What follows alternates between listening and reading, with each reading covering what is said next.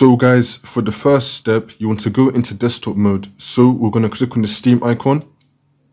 And now we're going to click on power and then select switch to desktop. It's now going to take us into desktop mode. And now once we're on this, you want to make sure that your time zone is correct. You either want to set your time zone to your country's time zone, or if that's still not working, then you want to set it to London.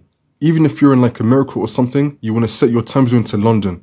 So there are two things that you can try. You could either set your time zone to London, see if that works. If not, then you want to set it to your country and your city's time zone. So first, we're going to try setting it to London. If you're watching this and you're not in the UK, I know it sounds weird that you're going to set your time zone to London, but some people have actually said that setting it to London has worked for them. So we're going to try that first. So in the bottom right, you want to click on the date and time right here, in the bottom right. And now where it says time zones, make sure that it says London on it. If not, you want to click on switch. And now this will come up. You want to select time zone. And now you want to find London. Just scroll down on this list until you find London for me, it's around the middle. So you want to select London and then select apply. And now after you've applied London as your time zone, now we're going to go back. So we're going to click on X right here. We're going to click on date and time again in the bottom right. And this time, it's going to be showing a pin right here. You want to click next to it. So you want to click on this thing next to the pin. So you want to click on this.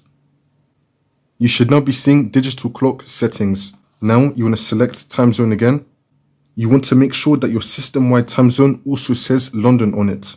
If it doesn't, then you want to select add time zones. And again, you want to find London. Once you find London, you want to click on OK. It should now appear right here. Make sure that you select London as your system-wide time zone. Now you want to click on OK again. Now we can go back to gaming mode. And your Rockstar game should now be working for you. Again, I know it sounds weird that if you're not in the UK or in London to set your time zone as London, but people out of those countries have said that that's worked for them. However, if that does not work for you, then you want to set your time zone to your country's time zone, and then it should fix your problem. You should now be able to launch your Rockstar game.